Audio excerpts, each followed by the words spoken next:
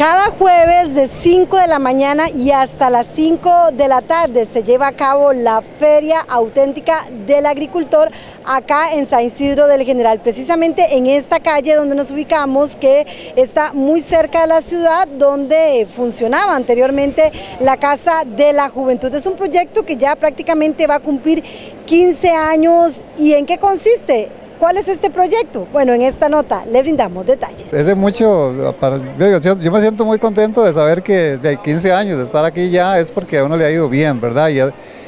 Y, yo resalto muchísimo, muchísimo el apoyo de la, gente, ¿verdad? De, la ciudadanía, de Pérez de León, ¿verdad? Porque los clientes son los que le dan vida a uno, ¿verdad? Y durante estos años, yo digo, los clientes de uno son aquellos que no lo han abandonado durante 14 años han estado ahí apoyándolo, ¿verdad? Y eso a uno lo llena mucho de orgullo de saber que, vale la pena sembrar, porque hay a quien, a quien venderle, ¿verdad? Y de ahí que entonces pues nos, estimula a todos, yo, yo paso diciéndole a todos, sembremos, ¿verdad? Porque hay, que, hay que sembrar, ¿verdad? hay que estar constantemente en la tierra para, para poder traer el producto, porque si no, pues lógicamente no, no, no, no podríamos permanecer, ¿verdad? Este es un proyecto con casi 15 años donde se cuenta con agricultores de diferentes partes de Pérez Celedón. Ahorita no somos tantos porque eh, crece en el momento que hay pejivalles y mamones, ¿verdad? Este, que es cuando más, cuando más sabemos que podemos saber unos, tal vez unos 15 o 17 hasta 20, ¿verdad? Porque los pejivalleros son, son bastantes, ¿verdad? Este, ahorita, ¿de cuántos? Dos, como unos 10, 11, 12, por ahí estamos llegando lo más, ¿verdad? Y el sector, bueno, estamos nosotros que somos del sector Rivas, están de, que Jorge, que es de Pejivalle, ¿verdad? Estamos, bueno, Francisco, que es de Daniel Flores, y, ¿no? Yo, ah, bueno, están los de, los de división, ¿verdad? Un poco más arriba del nivel, también hay otros compañeros. Creo que esos son los que los que estamos... El... Aquí se busca tener variedad de productos. Bueno, de eso sí tratamos de que haya casi de todo, ¿verdad? Porque lo que sí le puedo decir es que los productos que van a encontrar sí son muy productos muy frescos, ¿verdad? Eso sí, porque si, si queremos que sea la auténtica feria del agricultor es porque tenemos que ofrecer productos muy frescos. E incluso la mucha gente le dice, bueno, es que voy a tal parte y el producto es que ya está como muy añejo, ¿verdad?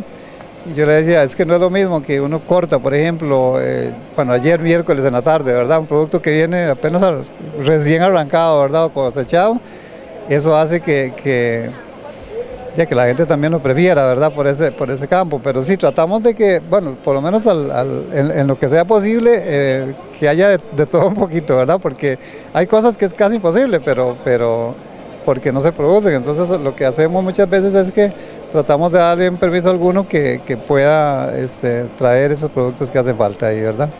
Y es que para formar parte de esta feria no es tan simple. Los productores tienen en primera instancia que sembrar y acá se viene a vender precisamente lo que cultivan en sus tierras. Primero se, se, se le hace una inspección a ese agricultor a ver si lo que él realmente está diciendo que quiere vender lo está produciendo. Si no lo está produciendo, lamentablemente no, no, le podemos dar permiso porque no le podemos extender un carnet a alguien que no está produciendo. Y que la producción también vaya acorde con lo que, eh, que uno sepa que, le va a durar, porque nos ha pasado, nos ha pasado, por ejemplo, vamos a hacer una inspección y ahí uno ve ahí tres lechugas, un poquito de culantro sembrado en unos tarros y uno dice, con esto no puedo ir a la feria. Lo que pasa es que muchos aprovechan que les extendamos el carnet porque esta asociación es la única que tiene autoridad para eh, poder eh, dar los carnets, no hay otra, ¿verdad?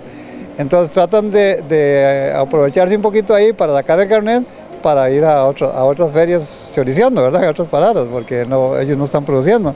Entonces lamentablemente a veces muchos quieren venir, pero, es que no, no, no requieren todos los requisitos como para poder estar acá. Como lo escuchábamos, los que venden acá, los productores tienen que tener ese carnet que la misma asociación les emite y por cierto, también tienen que vender los mismos productos que siembran en su tierra, así que son parte de esos requisitos que tienen que cumplirse para formar parte de esta organización. En cámaras, Alan Cascantes, es un reporte de Carmen Picado Navarro para TV Sur Pérez Celedón.